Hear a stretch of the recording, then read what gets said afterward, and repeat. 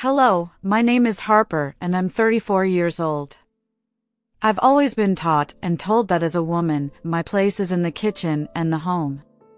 Despite this, I would do my best to make a name for myself to avoid being exploited, and that's exactly what I did. When my evil husband and mother-in-law conspired to work against me and bring me to my downfall, it all started when I noticed that both my husband and my mother-in-law would make household decisions without my consent and my knowledge. Babe, why am I finding all these plans on expanding the house when were you going to tell me that this is something you wanted to do? I don't see any need to tell you since I'm the one making the most money in this house, so I can do what I want. Okay, but I'm your wife, we have to talk about things like this. Get off my back, woman. I don't really know when my sweet Jake turned so sour, but at some point, he did, and he's completely unrecognizable at this point. He hates me for some reason, and I just don't know why. I try to be kind to counteract the anger I would constantly receive, but as the years went by, he appeared to be getting worse. Okay, if you want to renovate the house, that's fine. I won't stand in your way, but as your wife, I would like to be a bit more involved in household decisions. Why? I already tell my mom everything, so I don't know why you're so obsessed with wanting to know every single thing. Yeah, and why is that? Why do you always turn to your mother when it comes to decisions that are to do with us? Is she part of this marriage too? I told you to get off my back, don't make me repeat myself, and don't make me do anything I'll regret. This is how our conversations would go nowadays, just constant arguing and fighting, and it was taking a toll on me, my children, my family members, and my friends. They all constantly told me to get a divorce and leave him, but I was too loyal, I couldn't bear the thought of no longer being with him. That was until my mother-in-law started to become more involved in our lives, and all the dots began to connect. You see, I found out that my mother-in-law and my husband were doing some very unsavory and shady things, and this is how I found out about everything. My mother-in-law was making bi-weekly visits, which were increasing in frequency and length. Before, she would only come once a month, and it slowly but steadily grew into more visits, which would be fine had she not been such an insane person. Oh wow, if it isn't my favorite daughter-in-law. I'm your only daughter-in-law. Oh hush now, can't you let me compliment you in peace? It's no wonder why your husband is always coming to me, you're such a bore. Might I ask what brings you here today? Well, if you must know, I'm here to do some work with my son, nothing of your concern. If it has anything to do with the household funds that I constantly see depleting, then it is my concern. How dare you accuse me of doing something like that, stealing? How dare you? Jake will have your head on a platter if I tell him what you just insinuated. I didn't insinuate anything, perhaps it's your guilty conscience seeping through. Mirabelle stormed off as mad as can be. I suspected that she was going to complain to her son, but at that point, I didn't care. I had gotten so emotionally detached and distant from this entire situation that I didn't care about the various threats that were constantly hurled my way. I just did my best to avoid them at all times. That was until I received something suspicious in my email. It read, Hey mom, Please remember to get the correct details for Code Harper.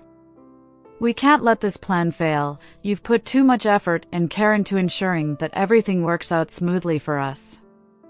I can't wait for everything to go down. We're gonna be rich. Love you loads, Jake. I was confused. We're gonna be rich, Code Harper? What did all this mean, and why was I part of this plan without actually being informed about anything? After much thought and deliberation, I thought that I should respond to the email. Hey Jake, it appears as though I've been attached to this thread. Please kindly explain to me what is going on. Much love, Harper. After sending the email, Jake decided to call me. I was so shocked by the angry tone in his voice. Ignore what you just saw, it has nothing to do with you. Well, clearly something is going on if you're using my name in your business meetings with your mother. Harper is a common name. Grow up, mind your own business before I do something I regret. What are you going to do, Jake? Ha? Tell me what are you planning on doing that you're going to regret later? You know, Harper, I don't get angry much, but this time, you've done it. I'll see you when I get home. He hung up the phone, and I began to get scared. What were these two planning, and why was he being so angry and secretive about everything? Due to his threats, I felt extremely unsafe in the household, so I packed some bags and decided to stay in a hotel for the time being. I couldn't afford to keep spiking my anxiety up because I was constantly in contact with two devils. Once I arrived in the hotel room, I decided to call my friend Ben. Ben and I have been childhood friends, and I knew that he would help me during this stressful and troubling time. Ben arrived soon after I called him. Hey, I'm so sorry, once again, for what happened. Yeah, well, I guess it's just part of the marriage package. Let me show you what the email said, maybe you can help me out. Okay, sure. I showed the email, and he shared the same look of confusion that I had when first reading it. Ben pondered some more, and finally, he said, We need to get inside their heads and figure out what they're doing. I don't know, but something about this seems fishy. We gotta find out what they're hiding, and since they don't want to be forthcoming with you, we have to look for other means of acquiring information. Like what? Like checking the account funds and balances. Have you noticed anything recently? Yes, the household funds from the joint bank accounts are steadily decreasing. I ask about it, but you know how Jake and Mirabelle. Okay, then let's start there. It should be noted that Ben is extremely tech savvy. He's the type of person who can hack into databases if he really wanted to, and his skills were shining during our sleuthing. Once I opened up the bank accounts and bank books for Ben to see, he began his work, searching and scanning for any discrepancies. After several hours of us deliberating and wondering what was going on, we reached a breakthrough, but it was definitely something that we weren't prepared for. It turns out that my lovely husband and mother-in-law were participating in some shady deals to incur more money. This was a hypothesis, but all of our doubts were confirmed when Ben managed to log into my husband's email account and see all of the evidence there for ourselves. Lengthy email chains between Jake and Mirabelle, they were embezzling funds from my husband's company, and that's not all. The gag is that they were going to incriminate me and make it seem like I was the one doing all of this. That's what Code Harper is, it's when they plan to unleash their gruesome attack and make me take the fall for everything. Yes, exactly. Jake would transfer the embezzled funds into the joint bank account and then use their money to make it seem like I was the one doing it.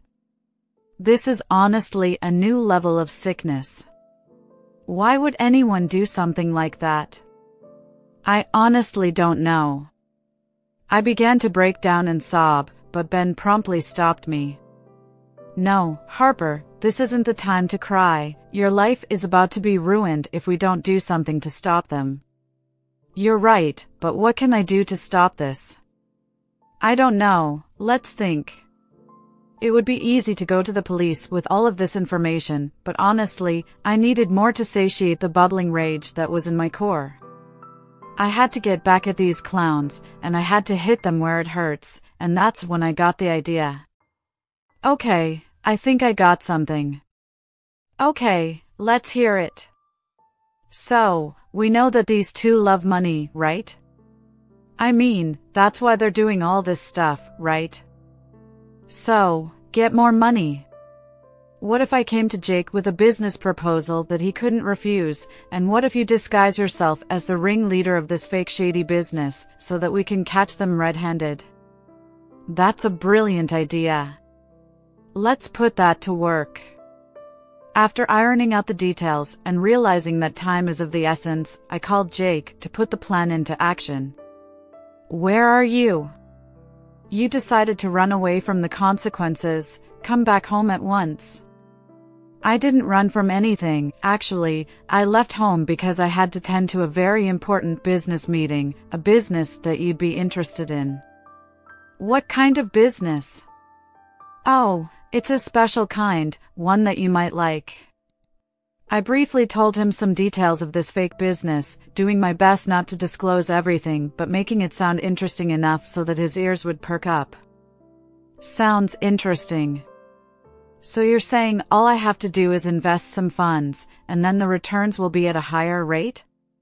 Yes, Jake, it's that simple. How much is needed? We have to invest a total of $30,000, but we can do it in installments if you'd like. I'll get back to you. In the background of the call, I heard him talking to Mirabelle about everything, letting her know what I said and debating on whether or not they should do the deal. Mirabelle sounded excited from the little that I heard, and it was confirmed because what Jake said next was shocking. Okay, so we're going to do this, and I'm going to send the full $30,000 so that we can do this quickly. When it comes to these details, time is of the essence, we don't have time to dilly-dally. Okay, which account will you use? I'll send it to the joint bank account, of course.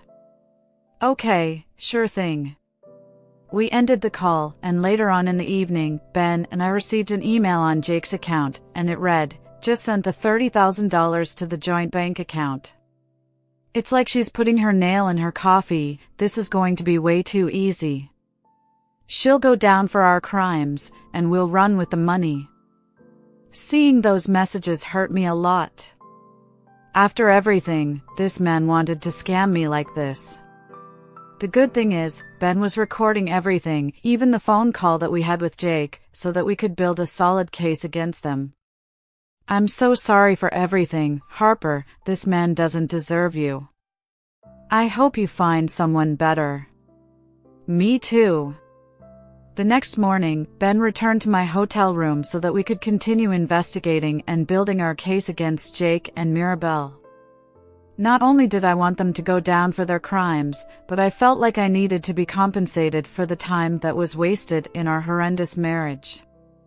I was going to take everything from this man, so I also collated as much evidence and information regarding emotional and mental abuse that I've endured for these years. I was going to make sure that he lives a miserable life alongside his mother. Ben was helping me out so much, and I was so appreciative of everything that he was doing for me. He did make me happy, and sometimes I wondered why I didn't marry him instead.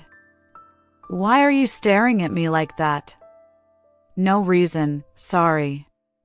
No, it's quite alright, let's get back to work though. We continued working, and we were finding breakthrough after breakthrough, cementing the plan on how Jake and Mirabelle were going to get caught. I wanted the whole audio to be public, messy. I wanted to ruin these people's lives the same way they wanted to ruin mine. It was insane to think that such a thing could happen. A week went by, and Jake was wondering why I hadn't come home yet, but I was reducing as much contact with him as possible because I knew very soon that he would be behind bars for a very long time.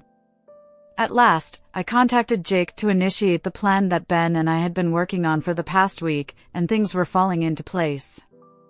I invited Mirabelle and Jake to a pretty crowded cafe, and once they arrived, the plan was set in motion, and I hit record on my voice recorder that was concealed.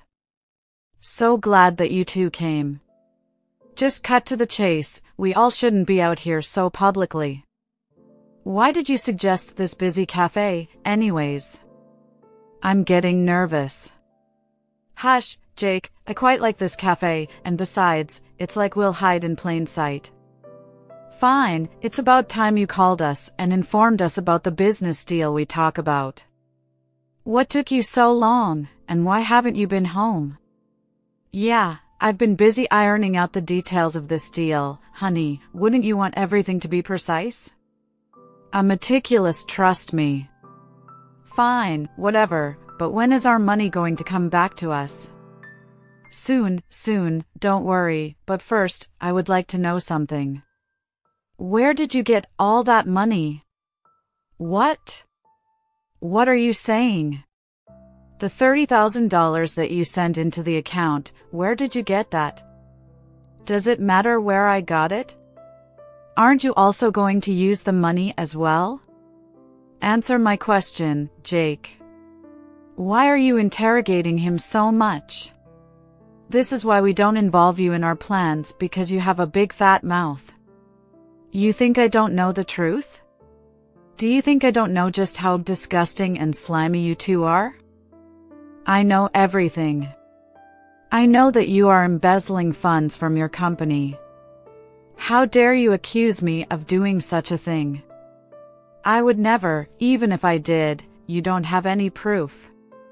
I decided to make a calculated decision, and I said, You're right, I don't have proof, so why don't you just tell me the truth so that we can fix this, huh? You see, you don't have proof. Mom, I think we deserve to laugh a little, don't you think? Let me tell her everything. Jake went into full detail about how he started embezzling from his company. He also had no issue exposing that he was going to let me take the fall for it all, the while laughing with his mother, looking like two evil villains. After they had a good laugh, I tried to compose myself to not cause a scene. I calmly said, Gotcha. I just got you two confessing everything that you were planning on doing. Oh please, what are you, a detective now? Don't make me laugh. I might not be a detective, but I am smart enough to record things. I then revealed my concealed recorder. I got everything you said here, which was practically a full confession. Honestly, why did you go into so much detail? Mirabelle's face turned pale, and she shouted, Jake, do something. Jake dove across the table to attempt to snatch it from me, but he was too late. He started to cause a scene, and the photographers that I had hired to capture these moments leaped into action, recording everything. Some young kids also took out their phones and began to stream the event, and let me tell you, it was truly something to behold. Jake was being held back by Ben, who merged with the photographers, and it was not looking good for the two criminals. Honestly, Jake looked like a raging and abusive maniac as he looked like he wanted to kill me, and Mirabelle was harassing the onlookers and passers-by, spitting profanities at them and me.